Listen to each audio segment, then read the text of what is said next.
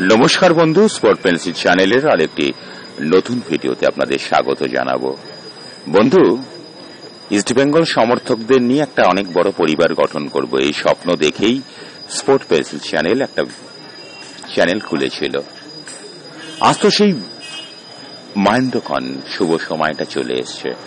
আসুন বন্ধু, যদি আপনি একজন প্রকৃত ইস্টবেঙ্গল সমর্থক হন, তাহলে ভিডিওর নিচে থাকা সাবস্ক্রাইবার বাটনটিকে ছুঁয়ে দেবেন। ইস্ট বেঙ্গল ক্লাবকে নিয়ে ইউটিউবে একমাত্র আমি ভিডিও করি। অনেকে বলেন, অনেকেই নাকি করেন। ওসব নাকানি চুবানি খাওয়ার কোনো দরকার নেই।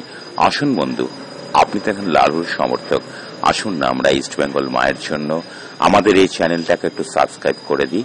এবার চলে আসব ভিডিওর একদম মূল প্রসঙ্গে। সেখানে সব থেকে বড় খবর নিয়ে আসব আমি আনোয়ার আলীকে নিয়ে। অনেকে জানতে চাইছেন যে আনোয়ার আলী ভবিষ্যৎ কি? বলব মোহনবাগান আবারও কাটিবাজি করেছে। ঠিক বন্ধু ইনভার্টেড কমার মধ্যে আমার এই শব্দটাকে নিয়ে নিন কাঠিবাজি করেছে। কিন্তু বন্ধু, মোহনবাগান কাঠিবাজি করলেই যে ইস্ট বেঙ্গল ক্লাব দমে যাবে, তা তো নয়। আনোয়ালিকে নিয়ে মোহনবাগান অনেক অনেক অনেক বড় বড় কথা বলেছিল।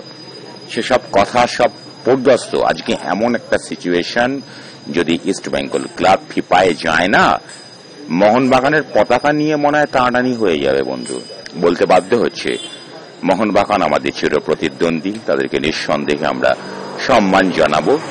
কিন্তু যে ন্যাক্কারজনক ঘটনা তারা ঘটিয়েছে, তার জন্য তাদের কিছু সমালোচনাও প্রাপ্য।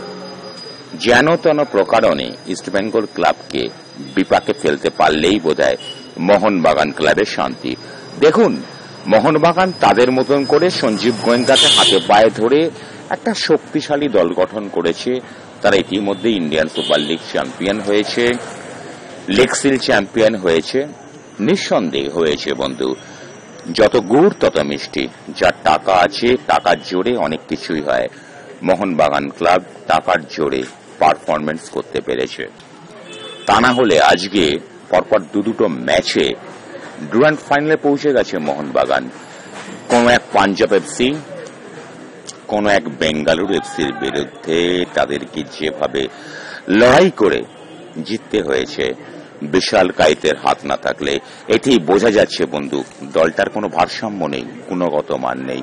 এই দলটাকে পে দিয়ে দেওয়া যায় পে দিয়ে এটা আমি আমার সমস্ত ইস্টবেঙ্গল সমর্থকদের বললাম।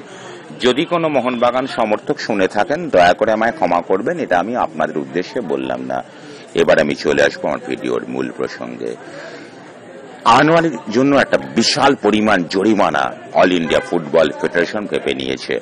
লক্ষ লক্ষ বা কোটির পর্যায়ে পৌঁছে গেছে বন্ধু। এখন অবধি আনুষ্ঠানিকভাবে সেই ঘোষণা না হলেও পরেও। তবে হ্যাঁ ইস্ট বেঙ্গল কেউ বসে নেই। এত বড় অবিচার, ফুটবল ফেডারেশন যারা মোহনবাগানের কাছে বিকৃত হয়ে গেছে ওই তো একটা প্রেসিডেন্ট কল্যাণ চৌবে। রাজনৈতিক উদ্দেশ্য প্রণোদিত মনোভাব নিয়ে যিনি চলেন, হারের যিনি হ্যাট্রিক করেছেন, তিনি একই সঙ্গে আবার নির্বাচনেও লড়েন। ঘৃণার যোগ্য ওই কল্যাণ চৌবে। আমার এলাকায় তিনি থাকতেন। তিনি যতই বাড়াবাড়ি করুন বন্ধু, তিনি কলকাতা ময়দানের ফুটবলকে ধুলিস্বাদ হতে তিনি পারবেন না। আমি পরিষ্কার বাস্তবিক একটা কথা বলছি। কল্যাণ চৌবে এসেছেন, কলকাতা ফুটবলকে ধ্বংস করতে কোন একটা রাজনৈতিক দলের মদতপুষ্ট হয়ে। তিনি পারবেন কি পারবেন না, এটা আমাদের এটাকে নিয়েও কিন্তু ভীষণভাবে লড়াই করতে হবে। সব থেকে বড় কথা আজকে বলব, ওই কল্যাণ চৌবের পরিচালনাধীন বা কোন একটা রাজনৈতিক দলের পরিচালনাধীন ইস্ট বেঙ্গল ক্লাবকে যদি রুখে দেওয়ার চেষ্টা যদি কেউ করে, তার সর্বনাশ হয়ে যাবে। সেই সর্বনাশের প্রতীক হিসাবে আজকে আমি বলব, কোন রকম অল ইন্ডিয়া ফুটবল ফেডারেশন এ ব্যাপারে হস্তক্ষেপ করবে না। কেন করবে না? এটা মোহন ইস্টের বিষয়। জানেন মোহনবাগান কোনো অন্যায় করেনি। আনোয়ারকে নিয়ে। অন্যায়টা কে করেছে? অন্যায়টা সব থেকে বড় করেছে এই অল ইন্ডিয়া ফুটবল ফেডারেশন টাকার লোভে কিছু স্বার্থান্বেষী মানুষ কল্যাণ চৌবের চক্রান্তে। কল্যাণ চৌবের চক্রান্তে আর একবার বললাম আমি মানিকতলার বিধানসভা কেন্দ্র অধিবাসী তেষট্টি হাজার ভোটে তিনি ভোকারটা হয়ে গেছেন। কল্যাণ চৌবে কোন তিনি আমার স্কুলেই করতেন তিনি প্রাক্তনী। ওনাকে বলুন তো এলআইজি স্কুল মনে করতে পারেন কিনা? মুরারিপুকুর কনসার্ট হাই স্কুলের কথা উনি মনে করতে পারবেন?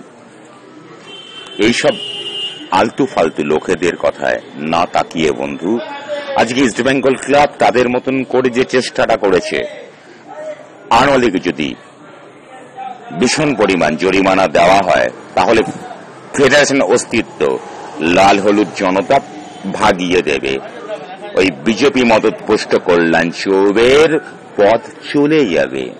আমি পরিষ্কার কথা বললাম, বন্ধু। আপনার আমাকে একটা রাজনৈতিক পক্ষপাত, দুষ্ট মন্তব্য করেছি বলে বলতেই পারেন। তবে হ্যাঁ যে বা যারা ইস্ট বেঙ্গল ক্লাবকে ধ্বংস করার জন্য রাজনৈতিক মদতপুষ্ট হয়ে কোনোভাবে বহিরাগত হয়ে এসছে, কল্যাণ চৌবে তাদেরই প্রতিনিধি। এসব প্রতিনিধিকে আমরা কিন্তু কোনোভাবেই জায়গা দেব না। আমাদের শীর্ষকর্তা দেবব্রত সরকার আছেন। তিনি মোটামুটি একটা ভারসাম্যের খেলা ভালোই খেলতে পারেন। তিনি দুদিকেই আছেন। আমি শীর্ষকর্তাকে বলব, দুদিকে ভারসাম্যর খেলা খেলবেন না। এবার চলে আসুন ইস্ট বেঙ্গল ক্লাবকে বাছুন। আপনার দলের যে দুটো সাইড ব্যাগ যে অকেজো, এটাকে নিয়ে তো আপনাকে ভাবতে হবে তো। ওই রাজনৈতিক পদক্ষেপে না গিয়ে খুব সুস্পষ্টভাবে আমি এই মুহূর্তে দাবি করব অসংখ্য ইস্টবেঙ্গল সমর্থকের মতো। যে আমাদের দুটো সাইড ব্যাককে ভালো দল যদি গঠন না করতে পারেন, তাহলে আমরা আপনারও পদত্যাগ চাই। তুই, উনি আবার দেহত্যাগ না করলে পদত্যাগ করেন না। আপনাকে কিন্তু পদত্যাগ করতে হবে। আপনার বিরুদ্ধে না এবার অভিযান চলে এবার। জামা কাপড় গুটিয়ে নিন। ধন্যবাদ।